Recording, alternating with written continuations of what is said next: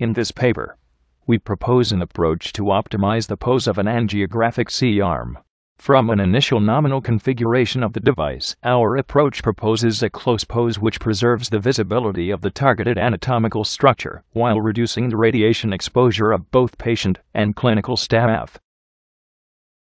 We propose to formulate this problem as the search for an X-ray device configuration that minimizes a cost function modeling the different radiation exposures such a cost function relies on the current room context and estimates the exposure of patient and clinicians by simulating X-ray propagation. While such a simulation process is complex, we propose an approach to compute the cost function and perform the optimization in near real time. A first term, V, computes the patient exposure to radiation. A simulation of an X-ray image acquisition is performed using Monte Carlo methods Dose maps are pre-calculated for a set of procedure-specific parameters. On the clinician side, we propose to characterize the behavior of scattered radiation with scatter maps. These allow to compute in real time a clinician's radiation exposure for the current device's pose.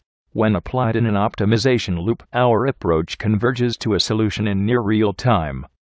A simulated X-ray image with the suggested pose is displayed for the operator to assess the visibility of the target.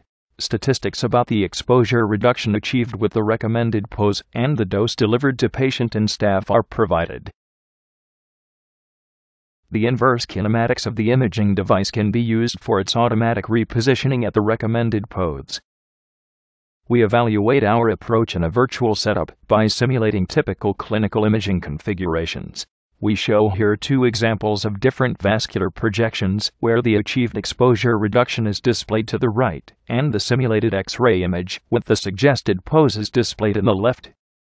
With two clinicians in the scene, a reduction of up to 20% delivered dose can be achieved with the recommended pose.